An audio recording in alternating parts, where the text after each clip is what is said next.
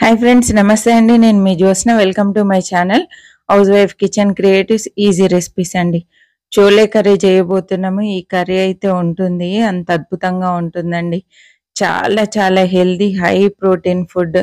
తప్పకుండా ట్రై చేయండి. చాలా మంచిదండి. పిల్లలకు కూడా మనకైనా దోశతో కానీ పూరితో కానీ రైస్తో కానీ చపాతీతో కానీ అద్భుతమైన రుచితో చాలా టేస్టీ హెల్దీ రెసిపీ అండి. లేదు అంటే మనం కప్పులో వేసుకొని నిమ్మకాయ పిండుకొని ఆనియన్స్ వేసి తింటే ఉంటుంది. అంత అద్భుతంగా ఉంటుంది. చాలా బాగుంటుంది. ఒక్కసారి తప్పకుండా ట్రై చేయండి. మీ అందరికీ నచ్చుతుంది. ఈ కమ్మని హెల్తీ కూర మనం చూసే ముందు ఒకసారి తప్పకుండా లైక్ చేయండి. లైక్ చేయడం మర్చిపోవద్దండి. ఇది చేసే విధానం కావాల్సిన పదార్థాలు చూద్దాం.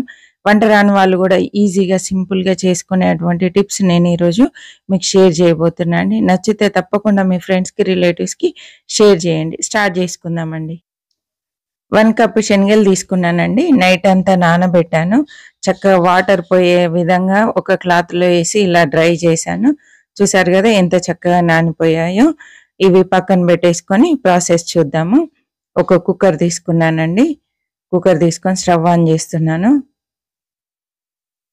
చక్కగా కుక్కర్ వేడైంది. ఇప్పుడు ఒక రెండు టేబుల్ స్పూన్ల ఆయిల్ వేసుకుందాం.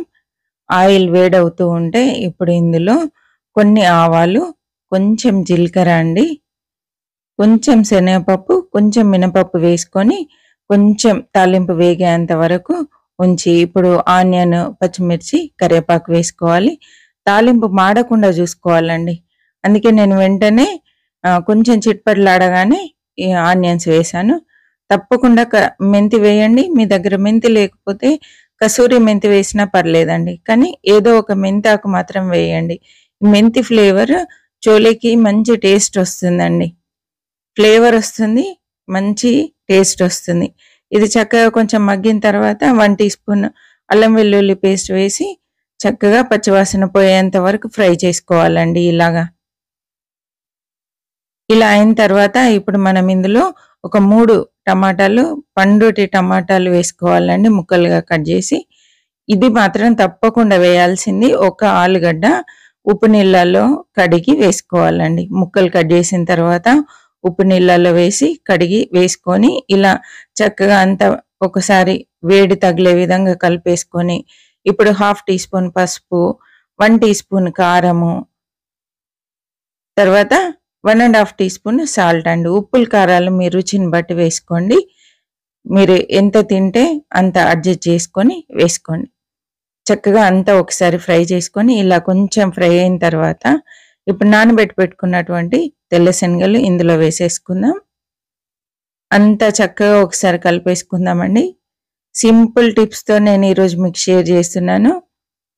ఈ టైంలో వన్ గ్లాస్ వాటర్ వేసేసుకొని చక్కగా మళ్ళీ అంతా ఒకసారి కలిపేసుకోవాలి. మీ క్వాంటిటీని బట్టి వాటర్ వేయండి. ఇవి మునిగే వరకు వేస్తే సరిపోతుందండి.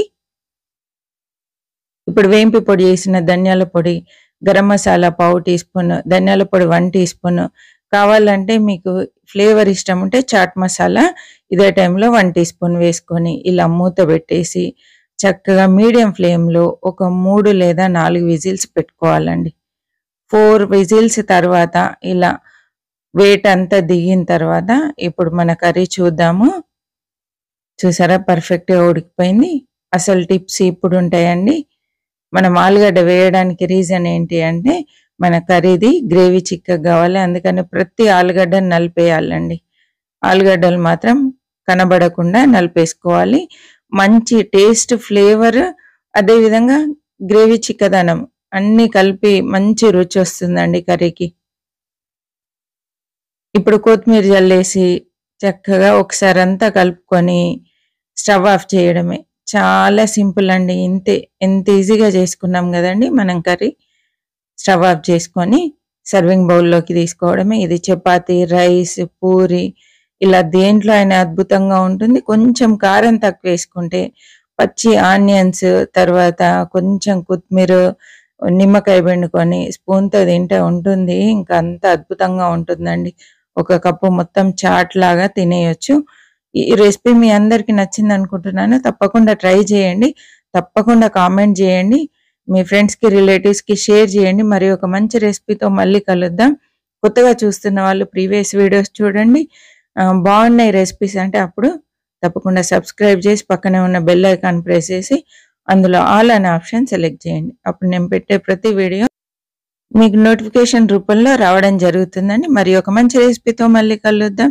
చివరి వరకు చూసినందుకు థ్యాంక్ యూ సో మచ్ అండి.